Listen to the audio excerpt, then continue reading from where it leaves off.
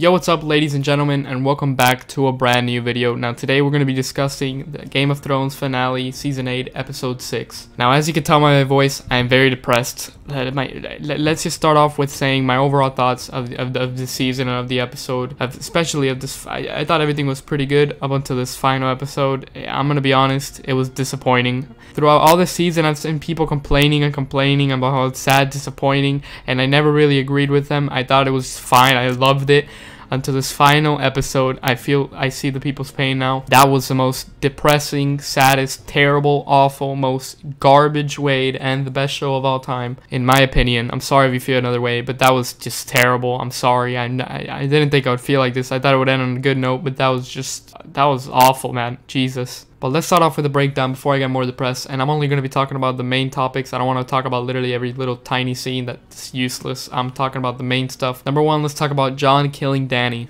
Now, I'm gonna be honest, they kind of fooled me there uh, when they started kissing, and he's, he's, he's, he said the same thing he's been saying for every episode in season 8 You're my queen, she is my queen. I thought, not again, dude.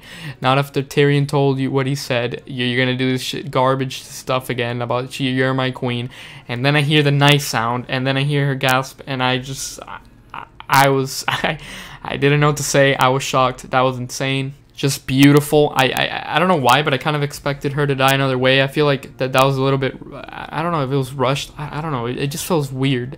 If, if I feel like everything happened really fast, like from the first episode of season eight to the uh, season six finale, or, or season uh, uh, the final episode, episode six finale. It just happened so quick. But yeah, guys, she dies. She has blood coming out her nose, blood coming out her mouth, and she just Jon kills her with a little dagger. And my prediction was right. She did end up dying to Jon Snow. And then we see Drogon carrying her away, which was also pretty sad. But yeah, let me know what you guys think about that scene. Moving on, we have probably, this is where I just got pissed. This is where everything went downhill from here. I thought the show was great. We got a time jump, almost. It, unless I skipped over an episode, we got a time jump from from the time Jon killed Dany to to where Tyrion gets released from jail or whatever prison, and they and they start selecting a new king as queen, and they motherfucking pick Bran Stark. What in the fuck was that? The the soulless, emotionless kid gets picked as king. Guys, I don't even know what to say. I'm so mad. That was so depressing. We're never gonna see another Game of Thrones episode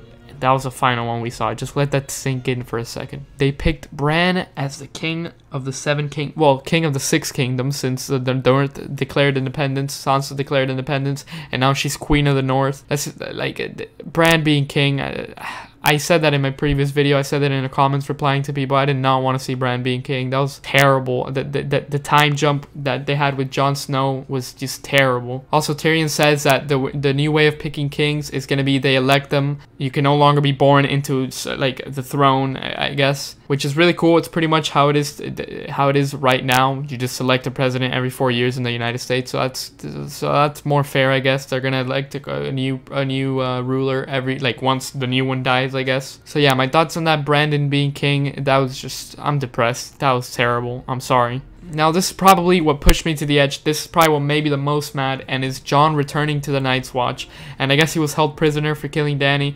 I don't know how that really went because it was a time jump. Terrible time jump. Literally, like, they only have six episodes this season and they want to do a time jump and leave unanswered questions. Like, what the fuck? What are they thinking? So yeah, Jon returns to the Night's Watch. He doesn't become king. Like, what? Like, how are they gonna miss that opportunity? They've been all this time that he announces king for seven seasons, eight seasons. They, like it's been a mystery, and now it's solved, and he just goes back to being the same.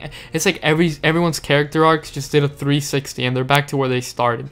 That is so depressing just just a depressing scene. They they just ruined Jon Snow. The, all he said this season was "You were my queen." Like it, that was a highlight of him. At the end, to just throw him away and put him back to the Night's Watch, and then they said they couldn't do anything. Like what what what is this time jump? What do they all mean? This is what is this show? What happened to this? Let's move on to the final scene, the ending of Game of Thrones. So sad. We see uh, Jon saying goodbye to Arya, Sansa, and Bran It was pretty sad. Arya's obviously gonna go to the west to explore the west of Westeros to see what there is.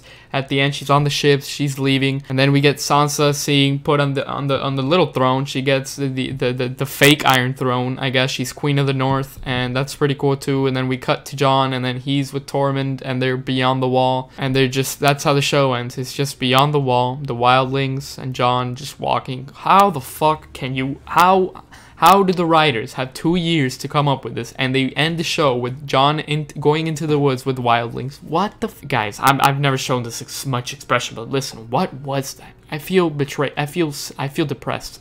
Like I, I, I don't know. But overall, I think this. I feel like this final episode was rushed. People saying season eight was rushed. I feel like this final episode was rushed. I feel like there needed to be ten episodes this season at least. Uh, I don't know. I just I'm depressed. That was just. Um, but yeah, guys, let me know what you guys thought of all these scenes that I talked about in this video. Let me know what you thought about the end. Let me know what you thought about this episode. Let me know what you thought about season eight and Game of Thrones. I feel like it definitely could have been ended better. I'm gonna make more videos about this episode. I'm gonna make more videos about this soon tomorrow. Make sure to uh, make sure to uh, stick around. But yeah, guys, for now I'm gonna be de more depressed, and uh, I'll catch you guys later in the next video. Goodbye.